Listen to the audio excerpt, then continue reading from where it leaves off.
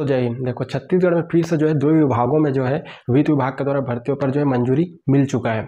और आप देख रहे हैं दोस्तों कि जैसे जैसे आपका चार सहित नज़दीक आ रहा है वैसे वैसे विभागों में जो है भर्तियों पर जो है वित्त विभाग के द्वारा मंजूरी मिलता जा रहा है। लेकिन देखने वाली बात यह रहेगी कि जो और बाकी जो विभाग है, जैसे कि पुलिस विभाग में कांस्टेबल के काफ़ी सारे रिक्त पद है। आर आई के हैं, पटवारी के हैं, हॉस्टल वार्डन के हैं। हॉस्टल वार्डन का आपका रिक्त पद जो है, पाँच सौ पद पर जो है, भर्तियाँ आई हुई थी पीएससी के थ्रू, लेकिन इसको निरस्त कर दिया गया है, ठीक है? लेकिन देखने वाली बात यह रहेगी कि आचार संहिता से पहले का इस पर जो है, वित्त विभाग के द्वारा जो है, अनुमति मिलेगा कि आचार संहिता से पहले इस पर जो है नोटिफिकेशन जारी हो पाएगा या नहीं हो पाएगा, ठीक है?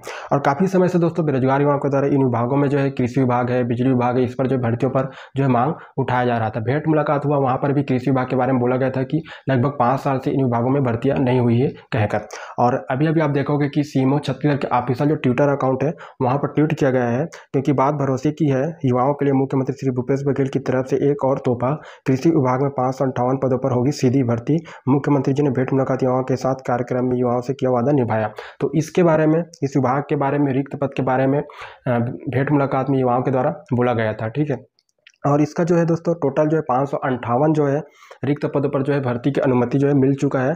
टोटल जो रिक्त पद था इस विभाग में सत्रह सौ इक्यानवे रिक्त पद था, लेकिन पाँच रिक्त पद पर जो है वित्त विभाग के द्वारा अनुमति मिल चुका है। जैसे कि सहायक सांख्यिकी अधिकारी के सत्रह पद है, ग्रामीण कृषि विकास अधिकारी के तीन सौ पाँच पद है, सर्वेयर के अठहत्तर पद है, प्रयोगशाला सहायक के दस पद है, अनुरेखक के आठ पद है, सहायक ग्रेड तीन के पच्चीस पद है, डाटा एंट्री ऑपरेटर के ग्यारह पद है, स्टेनो के ग्यारह पद है, वाहन चालक के उन्नीस पद है, चतुर्थ श्रेणी के चौहत्तर पद है तो टोटल जो पद है दोस्तों, पाँच सौ अंठावन रिक्त पद है।